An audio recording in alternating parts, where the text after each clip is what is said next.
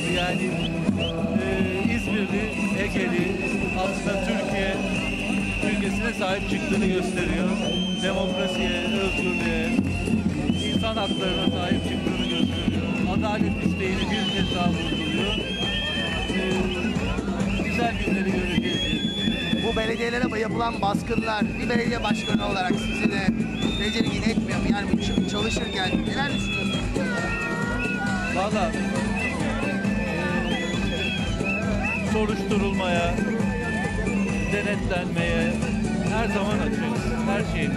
Zaten biz bir kamu kurumuyuz ve idari anlamda, yönetim anlamda, mali anlamda denetleniyoruz.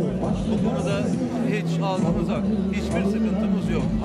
Ee, Böyle yapılan denetleme ve sorgulamalar, soruşturmalar e, başımızın üstüne olması gereken. Cumhuriyet Halk Ama tabii bu Partiler, sadece Cumhuriyet Halk izleyiciler, belediyeler az sonra Genel Başkanımız Sayın Kemal Kılıçdaroğlu aramızda olacak. yapılması gerekiyor. Kemal Kılıçdaroğlu'nu hazırlamaya hazır mıyız? Hazır Adalete saygımız, hukuka saygımız Hazır mıyız?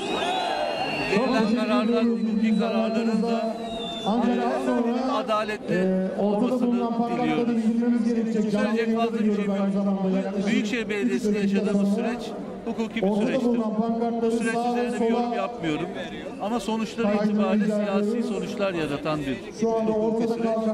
Zaten takip ediyoruz, izliyoruz. Diliyorum ki ve inanıyorum ki Türkiye'de hukuk ve adalet er veya geç yerini bulacaktır. Suçlu olan varsa suçunu cezasını çekecektir. Ama masum insanların e, suçlu gibi görünüyor olmasına izin yaramıyor.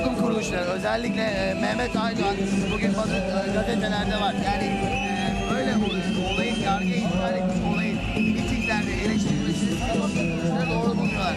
Okudunuz mu bugün gazetelerde, verdiğimiz gazetelerde? Yani ben e, aynı fikirde yani yargı, hukuk bu süreçler e, siyasi zeminlerde tartışılmaması gerekiyor. Ama bunların yarattığı etkiler konuşulabilir.